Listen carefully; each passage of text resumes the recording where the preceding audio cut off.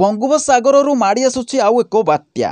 ତେବେ ଆସନ୍ତା ତେର ତାରିଖରେ କରିବ ଲ୍ୟାଣ୍ଡଫଲ୍ ଆଉ ଏହାଛଡ଼ା ଆଜିଠୁ ତିନି ଦିନ ଯାଏଁ ପ୍ରବଳ ବର୍ଷା ଛେଚିବ।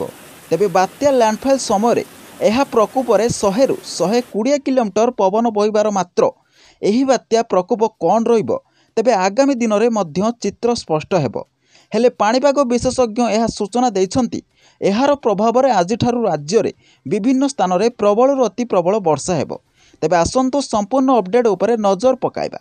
ତା ପୂର୍ବରୁ ଏହି ଚ୍ୟାନେଲରେ ଯଦି ନୂଆ କରି ଆସିଛନ୍ତି ଏବେ ହିଁ ଚ୍ୟାନେଲକୁ ସବସ୍କ୍ରାଇବ୍ କରି ପାଖରେ ଆସୁଥିବା ଘଣ୍ଟି ଚିହ୍ନକୁ ଦବାଇ ଦିଅନ୍ତୁ। ତେବେ ଏହି ବାତ୍ୟା ଠିକ୍ ପୂଜା ବେଳେ ନବମୀ କିମ୍ବା ଦଶମୀ ଦକ୍ଷିଣ ଓଡ଼ିଶାରେ ମାଡ଼ ହୋଇପାରେ। ବାତ୍ୟାରୁ ବର୍ତ୍ତିଗଲେ ବି ପ୍ରବଳ ବର୍ଷାରେ ବୁଡ଼ିବ ଓଡ଼ିଶା। ଏମିତି ଆଶଙ୍କା କଲେଣି ପାଣିପାଗ ବିଶେଷଜ୍ଞମାନେ। ତେବେ ଦଶ ତାରିଖ ବେଳକୁ ଆଣ୍ଡାମାନ ସାଗରରେ ଘୂର୍ଣ୍ଣିବଳୟ ସୃଷ୍ଟି ହେବ ଯାହା ଅବପାତରେ ଡିପ୍ରେସନ୍ ରୂପ ନେବା କ୍ଷଣି ସମ୍ଭାବନା ରହିଛି ଉତ୍ତର ପଶ୍ଚିମ ଦିଗରେ ଗତି କରି ଚାରି ପାଞ୍ଚ ଦିନ ମଧ୍ୟରେ ଏହା ଦକ୍ଷିଣ ଓଡ଼ିଶା ଏବଂ ଉତ୍ତର ଆନ୍ଧ୍ର ଉପକୂଳରେ ସ୍ଥଳଭାଗ ଛୁଇଁବ। ତେବେ କୃଷି ପାଣିପାଗ ବିଶେଷଜ୍ଞ ଡକ୍ଟର ସୁରେନ୍ଦ୍ରନାଥ ପଶୁପାଳକଙ୍କ ଅନୁମାନ ଅନୁସାରେ ଏକ ଘୂର୍ଣ୍ଣିବଳୟ କେନ୍ଦ୍ରୀୟ ବଙ୍ଗୋପସାଗର ମୁହାଁ ହେବ। ଏବେ ମିଆଁମାର ଉପରେ ରହିଛି ଯାହା ଏଗାର ତାରିଖ ବେଳକୁ ଉତ୍ତର ଆଣ୍ଡାମାନ ସାଗରରେ ଲଘୁଚାପରେ ପରିଣତ ହେବ। କେନ୍ଦ୍ରୀୟ ଏବଂ ଦକ୍ଷିଣ ବଙ୍ଗୋପସାଗରରେ ସମୁଦ୍ର ପତନ ତାପମାତ୍ରା ଏବଂ ଉତ୍ତର ବାୟୁମଣ୍ଡଳ ସ୍ଥିତି ଏମିତି ରହିଛି ଯେ ଲଘୁଚାପରେ ଘନୀଭୂତ ହେବ ଏହା ବାତ୍ୟା ରୂପ ନେବା ଆଶଙ୍କା ବି ରହିଛି।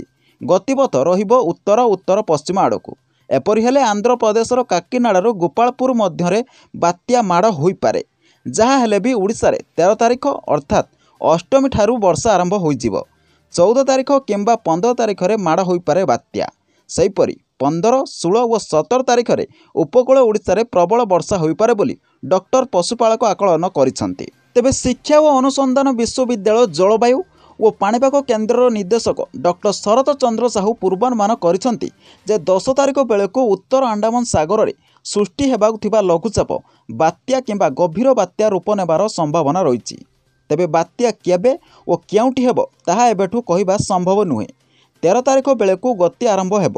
ଓଡ଼ିଶା ପ୍ରତି ପ୍ରଭାବର ଆଶଙ୍କାକୁ ଏଡ଼ାଇ ନ ଦିଆଇପାରେ ସ୍ମରଣଯୋଗ୍ୟ ଦୁଇହଜାର ତେରରେ ଫାଇଲିନ୍ ଏବଂ ପରବର୍ଷ ହୁଡ଼ହୁଡ଼ ବାତ୍ୟା ପୂଜା ବେଳେ ହିଁ ତାଣ୍ଡବ ରଚାଇଥିଲା। ତେବେ ସମ୍ଭାବ୍ୟ ଲଘୁଚାପ ଓ ଏହାର ଓଡ଼ିଶାରେ ପ୍ରଭାବରୁ ଆଶଙ୍କା କରି ପୂର୍ବରୁ ପ୍ରସ୍ତୁତ ରହିବାକୁ ନିର୍ଦ୍ଦେଶ ଦେଇଛନ୍ତି ସ୍ୱତନ୍ତ୍ର ରିଲିଫ କମିଶନର ପ୍ରଦୀପ ଜେନା।